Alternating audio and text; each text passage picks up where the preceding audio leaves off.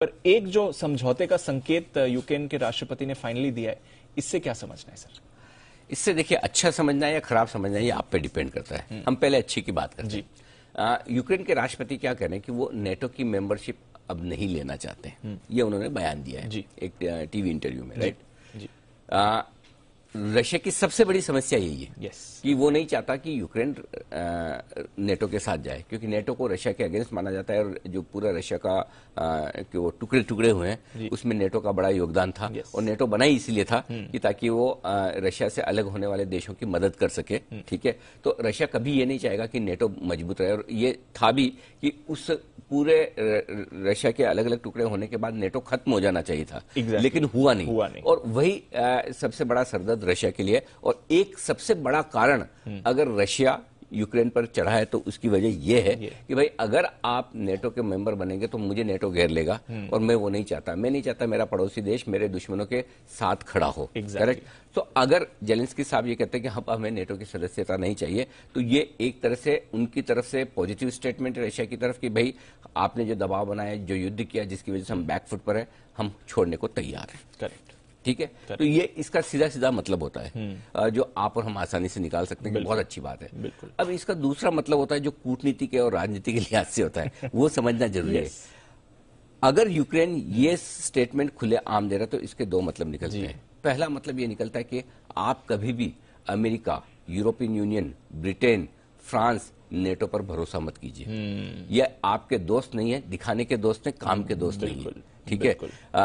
हालचाल पूछने के लिए अगर आपका कुछ एक्सीडेंट हो गया ज़्यादा बीमार पड़ गए तो मैसेज करके हालचाल पूछ लेंगे। लेकिन अगर इनको कह दे कि आके दो दिन हॉस्पिटल में सोइए मेरी सेवा करिए तो आएँगे नहीं। नहीं करेंगे। है ना? ये वैसे दोस्त हैं। जो अच्छे समय वाले दोस्त हैं बुरे समय वाले नहीं है। ये स्टेटमेंट बहुत साफ़ जाता है। और इसीलिए जब ये हमारे काम के ही नहीं है अगर आज पंद्रह दिन होने आए और अ, अ, पूरा तबाह हो रहा है यूक्रेन उसके बावजूद भी नेटो की तरफ़ से कोई एक्शन तो नहीं हुआ ना?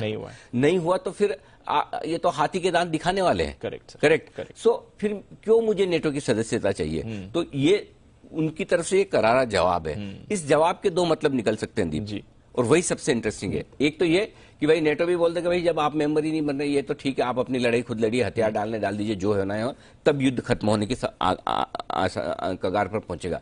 दूसरी तरफ़ अगर इसे दिल पर ले ले अमेरिका नेटो यूरोप ब्रिटेन सब लोग तो फिर क्या इस लेवल के बाद क्योंकि उन्हें भी ये दिखाना है दुनिया भर में कि अगर एक एक करके ऐसे हमारे से देश दूर होते जाएँगे और ये फीलिंग सब में स्ट्रांग है Yes, जो अमेरिका के साथ हमेशा खड़ा रहा है अब तक का रिकॉर्ड है अमेरिका ने मुसीबत के समय में उनको छोड़ा है। राइट तो अगर ये फीलिंग उन देशों को आती है तो फिर अमेरिका को कुछ करके दिखाना पड़ेगा। और ये कुछ करके दिखाने वाली जो सिचुएशन है उसमें बात बिगड़ सकती है। अच्छा तो दोनों तरफ़ ये हो सकता है। हाँ। तो अगर सीधे सीधे तौर पर देखेंगे तो बहुत अच्छी खबर दिखती है वेरी गुड हाँ। लेकिन अगर इसके आफ्टर इफेक्ट्स नेगेटिव साइड पर जाएँ तो नेटो को समझ में आ जाएगा कि सिर्फ़ न सिर्फ़ नेटो को बल्कि नेटो में जो बाकी देश है वो भी ये सोचेंगे हम क्या सही ऑर्गेनाइजेशन में तो है सही एसोसिएशन में तो है सही दोस्तों की कंपनी में तो है? Correct correct. तो अगर उसमें भी फिर कोई और देश दाएँ बाएँ होंगे तो निकलने की कोशिश करेंगे। प्लस जो पिछले दिनों में बात आई थी दो और देश रूस के पास वाले सोच रहे थे कि नेटो में जाए ना जाए। फिनलैंड और एक और सोच हाँ, वो सोचेंगे अरे भाई जो यूक्रेन जाने की सोच रहा था उसका ये हाल है हम क्यों जाए? क्यों जाए? बिना मतलब आ बेल मुझे मार. सो ऐसी सिचुएशन में अमेरिका को अपनी दादागिरी दिखाने के लिए नेटो को अपनी दादागिरी दिखाने के लिए एक्शन लेना पड़ सकता है। और वो सिचुएशन बिगाड़ सकता है। तो- तो क्या होगा दोनों में मुझे नहीं पता। मैं सिचुएशन का विश्लेषण कर सकता हूँ। इवेंट क्या होगी ये मेरी समझ के बाहर है। लेकिन दोनों तरफ़ से इसे देखिए। दूसरी चीज़ एक और चीज़ जो है ना ये दोगलापन बाकी सारे देशों का पोलैंड को उनको एरोप्लेन भेजने। कल पोलैंड का बयान आया Yes. कि हम यूक्रेन को प्लेन देने के युद्ध वाले प्लेन देने को तैयार हैं। लेकिन तुम्हें सीधा नहीं देंगे। पहले अमेरिका भेजेंगे अमेरिका से आपका। क्या मतलब है भाई? इवन दो बॉर्डर आपका है। हाँ बॉर्डर पे है। नहीं इधर से मतलब आपको मतलब है ना क्लैरिटी नहीं है। Clarity नहीं। दूसरी तरफ़ देखिए ब्रिटेन हम आपके ऑयल और गैस पे बैन लगाएँगे। 2022 के अंत तक। तो मतलब आप ये चाहते हैं कि यूक्रेन और रशिया 2022 के अंत तक लड़ते रहे? एग्जैक्टली पर नहीं करना तो साफ़ मत करो ना भाई। इस तरह के स्टेटमेंट दे के आप अपनी हँसी उड़वा रहे हैं। भाई अगर अगले नौ महीने तक ब्रिटेन के राष्ट्रपति बोरिस जॉनसन साहब ये जो है ये बोलते हैं नौ महीने में हम पूरा बंद कर देंगे। तो ये तो इसके लिए क्या आपको दोनों को लड़वाना ज़रूरी था वैसे ही कर देते। वैसे ही कर देते। अमेरिका तुरंत प्रभाव से बैन लगा रहा तो सिर्फ़ इसलिए कि लगभग लगभग ऑयल के मामले में वो सेल्फ सफिशिएंट है हार्डली इंपोर्ट करना पड़ता है इसलिए लगा रहा है। हिम्मत है तो लगा के देखें बैन सारे यूरोप के देश। यस कि हमें रशिया से गैस नहीं चाहिए ऑयल नहीं चाहिए मेटल्स नहीं चाहिए। ये तो कोई कर नहीं रहा। स्विफ्ट भी अभी तक लागू नहीं हुआ नहीं हुआ स्विफ्ट लागू नहीं हुआ एक भी चीज़ रशिया से जो आपकी इंपोर्ट हो रही है वो बने। तो ये है ना इस वक्त है ना दीप ये रशिया और यूक्रेन से कहीं बड़ी चीज़ हो रही है दुनिया भर में। अपने अपने पॉलिटिकल इक्वेशन बन रहे हैं पावर इक्वेशन बन रहे हैं और इसका अंत कैसे होगा ये हमारे छोटे से दिमाग की समझ से बहुत बाहर है। सो इसलिए मैं न बहुत बुलिश हूँ न बहुत बैरिश हूँ।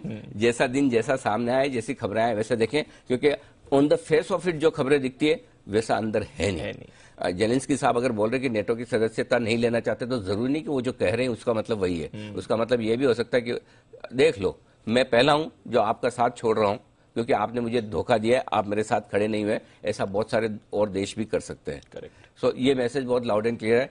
लेट्स सी क्या होता है। डेंजरस गेम खेल रहे हैं सर ये तो। दोनों दोनों पावरफुल ब्लॉक्स के बीच में अटक के। क्या करेंगे? मतलब कई बार क्या होता है आप किसी पर भरोसा करते हैं। फॉर एग्ज़ाम्पल आपने मेरे विश्लेषण पर भरोसा किया कि मैंने ये कहा हो सकता है मेरा विश्लेषण गलत निकल जाए। यूक्रेन के साथ भी वो हो सकता है कि उन्होंने विश्लेषण ये किया कि नेटो है अमेरिका है मेरा क्या बिगाड़ लेगा रूस?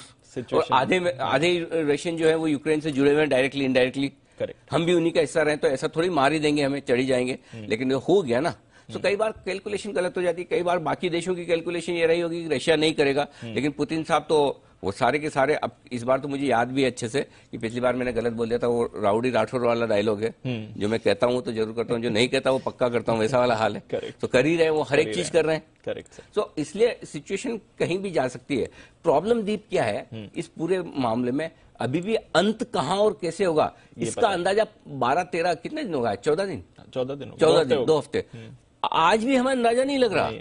ये सबसे बड़ी दिक्कत है मेरी कि चौदह दिन बाद भी हम ये नहीं समझ पा रहे हैं ये नहीं सोच पा रहे हैं आगे देख पा रहे हैं अनुमान लगा पा रहे हैं कि इसका अंत कैसे होगा। अंत क्या यूक्रेन खत्म होकर रशिया को सरेंडर कर देगा ये अंत है? या फिर नेटो अमेरिका ब्रिटेन बाकी देश मिलकर रूस से लड़ेंगे ये अंत है? परमाणु हथियार इस्तेमाल किए जाएँगे वो अंत होगा। ये क्या बातचीत करके होगा? नो बड़ी नोस तो जब तक ये अनिश्चितता है तब तक मुझे बाज़ार पे किसी तरह का कोई भरोसा नहीं ना तेज़ी पर न मंदी पर। तो जैसा है डे बाय डे उसी को लेकर चलते हैं। ठीक है सर आ, पर एक बार तो